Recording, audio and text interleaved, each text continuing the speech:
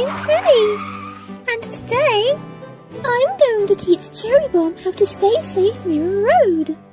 Now, Cherry Bomb, are you ready to learn about road safety? Oh, absolutely. Okay then, follow me. Let's go further into the street. Oh, Penny, I'm scared. Don't worry, Cherry Bomb. Let's take the pavement. If we take the pavement, we'll be safe from cars. Now, Penny, what if we have to cross the street?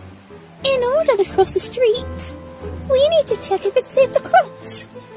In order to do that, we need to stop and process.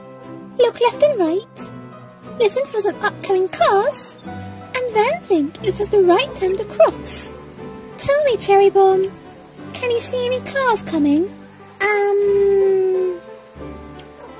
No, I don't think I can. That means it's safe to cross. Hold my hand, Cherry Bomb.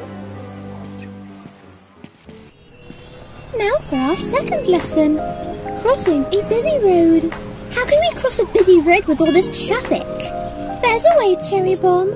What you're seeing right now are traffic lights. When the light's green, the cars are allowed to go.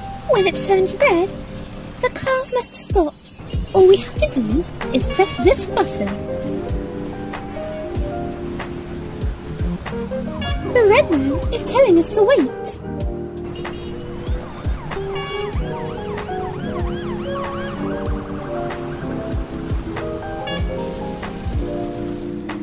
Now there's a green man. It's telling us that we can now cross the road safely.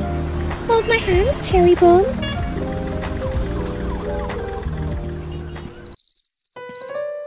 Um, Penny, it's actually getting dark outside. You're right, Cherry Bomb. Let's go home. It gets dangerous at night. This actually brings us to lesson three crossing the street at night. Wait, I just thought. If it's dark at night, then will passing cars be able to see us?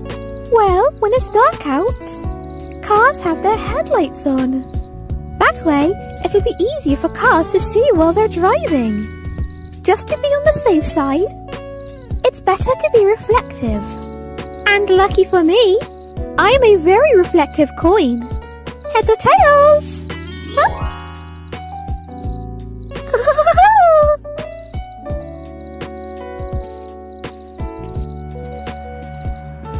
Ah, I actually feel better now. I officially feel confident crossing the road. I'm so confident I could just...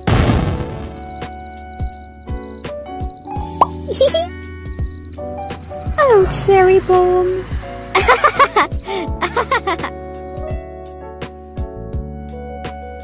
We did it!